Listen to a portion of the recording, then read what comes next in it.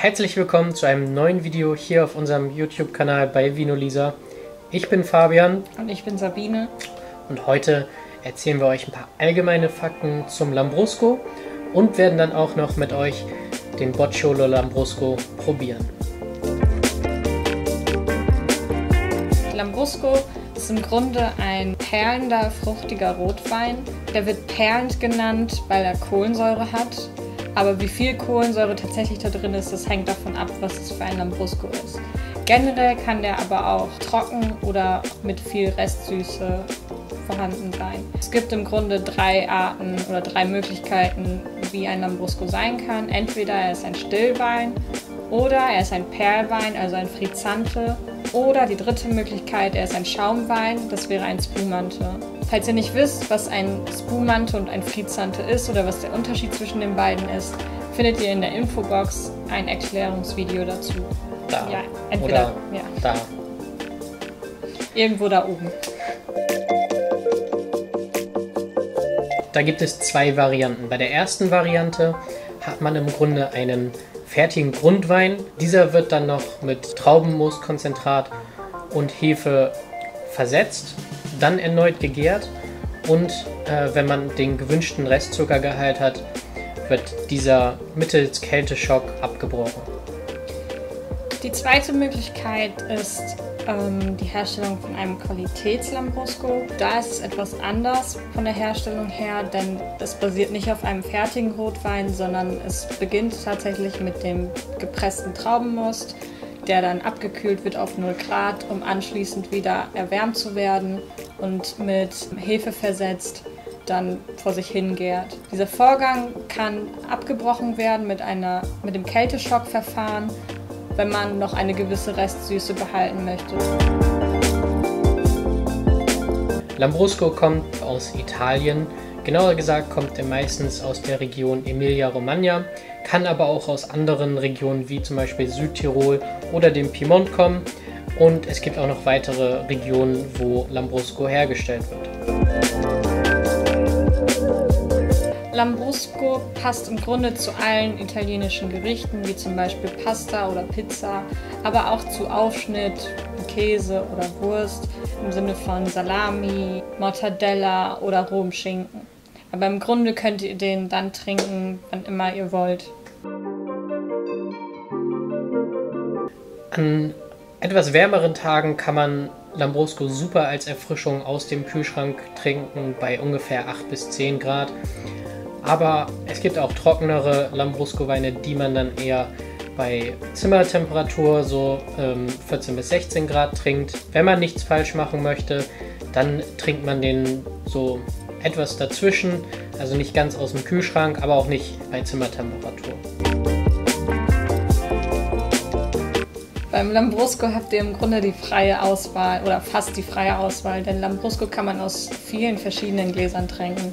Zum Beispiel eignen sich im Grunde eigentlich immer Rotweingläser dazu, aber auch die Weißweingläser, so wie wir das nachher auch machen werden, aber auch bauchige Champagnergläser. Das Ganze hängt davon ab, wie viel Kohlensäure tatsächlich in dem Lambrusco vorhanden ist, weil die Glasform natürlich die Kohlensäure entweder leichter entweichen lässt oder nicht. Also da habt ihr eine größere Auswahl. Jetzt kommen wir zu unserer Verkostung. Wir haben hier den Bocciolo Lambrusco von Medici Ermete. Dieser kommt aus der Region Emilia-Romagna und hat die Rebsorte Lambrusco Grasparossa. Vom Geschmack her soll dieser eher süß sein. Wie genau er schmeckt, werden wir gleich irgendwann noch herausfinden in diesem Video. Aber Lambrusco kann wie gesagt ja auch eher trocken sein, so wie der Assolo Reggiano. Also generell ist es abhängig. Nur haben die alle eine fruchtige Richtung vom Geschmack her. Dieser Lambrusco hat 7,5% Alkohol. Und das ist ähm, eigentlich ziemlich wenig für einen Wein. Es ist im Grunde nur die Hälfte von einem normalen Wein oder von anderen Weinsorten. Daher ist der Zucker wahrscheinlich auch etwas prägnanter. Was hier zur Farbe jetzt direkt auf jeden Fall ins Auge springt, ist der schaumige Rand, der so ein leichtes Violett fast schon rosa hat. Ich finde auch, dass der Wein oder der Lambrusco auch irgendwie leicht pinklich aussieht, wenn man Mhm. das, sich das Glas ein bisschen anguckt. So irgendwas zwischen Pink und Violett generell hat, also nicht nur der Schaum. Ja, und halt auch so ein bisschen die, ja, die Perlen von der Kohlensäure sieht man hier auch an der Oberfläche so ein bisschen. Man kann auf jeden Fall auch nicht durchgucken, ne? das ist Das stimmt. blickdicht. Am Rand ist für mich halt auch, wie du schon gesagt hast, so ein Richtung Pink, Rosa und im Kern dann ähm, doch ziemlich Rubinenrot, würde ich sagen.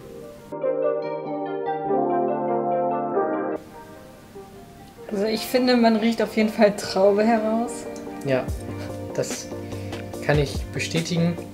Für mich riecht es auch so leicht blumig, so nach Rosen in die Richtung. Ich finde aber, man riecht auch ganz leicht Hefe, so wie so, so ein bisschen So wie bei. Bier, ja. Rieche auch allgemein so Beeren wie Kirsche noch, so Wildkirsche. Als nächstes können wir den ja mal probieren und gucken, ob der wirklich so süß schmeckt, wie er schmecken soll. Das ist eine gute Idee.